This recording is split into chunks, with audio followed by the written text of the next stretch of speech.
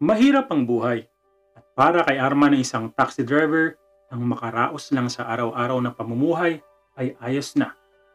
Gayunpaman, hindi pa rin niya isinasantabi ang kanyang pangarap na mabigyan ng magandang buhay ang kaniyang pamilya. Isa si Arman sa napabilang ng magtanggalan sa kanilang kumpanya kung saan siya ay isang IT expert. Simula noon ay tila nahirapan na siyang maghanap ng trabaho kaya napilitan siyang pasukin ng pagiging taxi driver sa isang malaking kumpanya pitong taon na ang nakakaraan. Hindi siya naging maselan basta't mayroong pagkakakitaan. Kahit nga ba pag-racket sa car wash ay pinasok niya. Bago pa man sumikat ang araw, naghahanda na si Arman upang mamasada.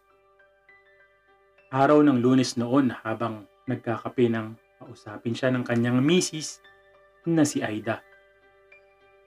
Pinapaalala ko lang, bayaran na naman sa eskwela ng anak natin. Saka kuryente at tubig, due na rin. Paalala nito sa mister. Okay, sige. Gawa natin ang paraan yan. Sahod ngayon pero alam ko, kukulangin. Wika ni Arman. Gawa ng paraan na naman. Napapauna tayo sa utang. Ayaw mo kasing lumapit sa mga kapatid mo. Ay, nakakaraos naman tayo, di ba? Nagagawan ko naman ng paraan. Tugon ni Arman. Yun nga, pero pauna tayo sa utang. Mapride ka kasi. Pwede ka naman magsabi sa mga kapatid mo. Wika ni Aida. Hindi mo kilala mga kapatid ko. Yung ugali nila iba. Kaya hanggat nakakaraos pa tayo, hindi tayo lalapit sa kanila. Okay, sige ganito. May pagtatapat ako sa'yo. Natandaan mo ba nung namatay ang itay? Sinabi ng isa kong kapatid na naturingan raw na ako ang panganay pero hindi ako makapag-ambag kahit sa lamay o pagpapalibing. Hindi nila naisip na oo nga, sila ang gumastos pero yung pag-aalaga ang nabubuhay pa. Ako lahat wala naman silang narinig sa akin. Nagulat ang asawa ni Arman. Wala kang sinabi sa akin na ganyan pero kung ganun, wag na lang. Pasensya ka na sa sinabi ko. Hindi ko dapat sinabi yun. Paghingi ng paumanhin ng kanyang asawa. Wala yun.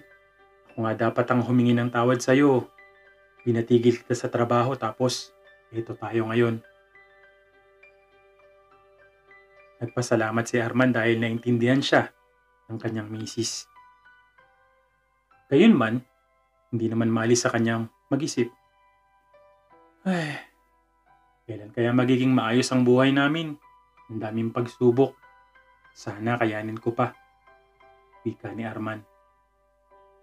Malapit lang ang kanilang opisina sa bahay nila kung saan nakapark ang nilalabas niya. Pinati siya ng manager na si Frank. Maga ka na naman. Kung lahat pa naman tulad mo, eh, wala tayong nagiging problema. Saludo ako sa iyo, Arman. Wika ni Frank. Salamat, boss. Magandang pampalakas ng loob yung sinabi mo sa akin, kaya salamat talaga. At namasada na nga si Arman. Nang magtanghali, tumigil siya sa madalas nilang kainan ng mga kasamahang kasabay niya sa papasada. O Arman, dito ka na oh, libre ni Bart. Wika ni Ray. Oh, birthday mo ba at manlilibre ka? Wika ni Arman. Hindi naman niya birthday paring Arman. Nakadilihensya lang. Wika ni Ray. Dilihensya? Tanong ni Arman. May nakaiwan ng bag eh. May konting cash saka cellphone. Wika ni Ray. Naku pre, dapat i-report mo yan sa office o dyan sa uh, may-ari. Sigurado tatawag yan. Wika ni Arman. Basag trip ka naman pre. Ito bihira lang to sa kamukhang mayaman naman yung nakaiwan na pasahero for sure. Sa layo ng napaghatiran ko sa kanya, hindi na hanapin pa to. Wika ni Bart. Sige pre, kung ayaw mo ng libre, okay lang. Ikaw naman, akala mo kung sino ka. Wika ni Ray. Napaisip si Arman. Malibang sinabi ko, Tama bang manamantala ng pasahero? Matapos kumain ni Arman ay muli siyang bumalik sa pamamasada. At swerte naman ito na may pasahero agad na naisakay. Isang matandang lalaki na nasa lampas 50 ang edad. Boss, saan po tayo? Sa airport, wika ng pasahero. Ah, okay boss. Sige po. Tugon ni Arman. Diretso lang ng pagmamaneho si Arman nang tumunog ang cellphone ng pasahero na kaagad naman itong sinagot.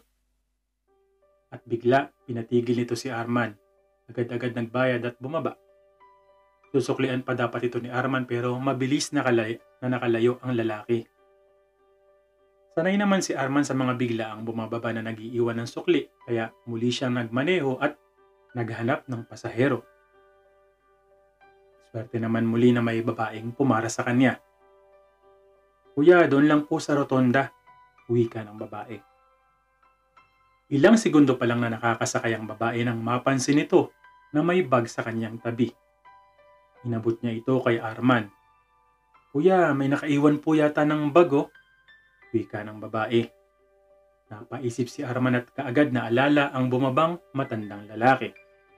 Inilagay niya muna ito sa katabing upuan hanggang sa maihatid na nito ang babae.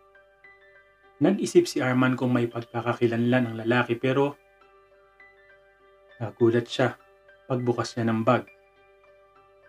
Marami itong perang laman. Ngunit wala siyang mahanap na pagkakakilanlan. Naisip ni Arman na kailangang maibalik ito sa may-ari. Kahit na kailangan niya ng pera ay hindi siya nag-isip ng masama dito kumpara sa kanyang mga kasamahan na hinangkin ang natagpo ang pera. Naisip naman ni Arman na bumalik kung saan niya ibinaba ang lalaki. Sisilip-silip si Arman sa kalye kung saan bumaba ang matanda hanggang sa makita niya ito sa harap ng coffee shop. Inusinahan niya ito at agad-agad naman siyang bumaba. Boss, yung bag po ninyo naiwan niyo po. Pasensya na kayo. Binuksan ko dahil naghahanap ako ng pagkakakilanlan. Maraming salamat sa iyo, iho. Bibihira lang ang taong matapat. Naku, sa totoo lang ay malaki ang halaga ng perang nandyan sa bag dahil sa agency namin yan. Wika ng lalaki. Alam ko po importante yan sa inyo kaya nga po nagmadali akong hanapin kayo. O kung hindi ko nga kayo mahanap ay ire-report ko sana sa police station ito. Ano nga palang pangalan mo iho? Tanong ng matanda. Na agad namang sinagot ni Arman. Alam mo Arman, hindi ko natandaan yung taxi mo o kahit plate number kaya mapalad ako na ikaw ang nasakyan ko. Ito tanggapin mo ito. Maliit ito at hindi ka bayaran.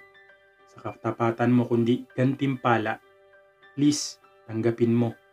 Wika ng matanda. Ayaw sanang tanggapin ni Arman ang binibigay ng matanda pero nagpumilit ito at isinilid pa sa kanyang bulsa. Hindi matapos sa pagpapasalamat ang matanda hanggang sa makaalis na si Arman. Hindi naman inasahan ni Arman na 20,000 ang halagang ibinigay sa kanya ng matanda. Nung araw na yon, ikinuwento niya sa kanyang asawa ang nangyari at ibinigay lahat ng pera at sahod. May pambayad ng kanyang mga anak sa eskwela, pati tubig, kuryente ay sobra pa. Pero hindi lamang pala doon nagtatapos ang gandimpala sa katapatan ni Arman. Makalipas ang ilang araw, pinatawag si Arman ng may-ari ng kumpanya ng taxi na kanyang minamaneho. Pagpasok ni Arman sa opisina ng kanyang amo ay nabungaran niya ang isang kilalang mukha. Kasama ng boss niya ang matandang nakaiwan ng pera nakangiti sa kanya. Arman, kilala mo ba siya? Wika ng boss nito. Opo, nung isang araw lang po, naging pasahero ko siya wika ni Arman. Tama. Arman, kinenta sa akin ng kaibigan kong si Alberto ang ginawa mong kabutihan. Kung gaano kalaking halaga ang naibalik mo sa kanya. Wika ng boss. Malaki man o maliit, boss, hindi ko po pag-iisipan ang kinin dahil hindi po sa akin at hindi ko po pinagpaguran. Arman, simula ngayon hindi ka na taxi driver pero kung gusto mo pa rin, lumabas, hindi kita pipigilan pero bibigyan kita ng posisyon dito bilang supervisor. Maraming tao yung madalas masilaw sa maliit o malaking halaga Arman, kaya naman sobrang natuwa at proud ako sa'yo. Matagal ka na dito at ikaw ang bukod tanging hindi nakatanggap ng reklamo sa pitong taon mo dito. Lagi kang maaga sa trabaho. Sabi yan ng manager mo. Hindi makapaniwala si Arman sa narinig. Parang nung isang araw lang ay namamroblema siya pero ngayon, puro biyaya naman ang dumating sa kanya. Dahil doon ay napayakap siya sa kaibigan ng kanyang boss. Alam mo iho, walang makakapantay sa katapatan mo kaya dapat nasusuklian. Hindi mo natatanong, meron kaming minamanage na university kaya nais kong bigyan ng scholarship, may dalawa ka palang anak, kung okay lang sa'yo. Wika ni Albert. Dahil sa narinig, mas napaluha pa si Arman. Walang mapaglagyan ng kanyang kasiyahan. Binigyan din si Arman ng kanyang boss ng isandaang libong piso bilang pabuya sa kanyang katapatan. Ginamit nila ang natanggap na pera upang magtayo ng maliit na negosyo. Minsan sa buhay, sinusubok tayo pero hindi dapat tayo sumuko. Tulad ni Arman, ang pagiging matapat sa trabaho ang naging susi niya upang umangat siya sa buhay. Salamat po sa inyong pakikinig.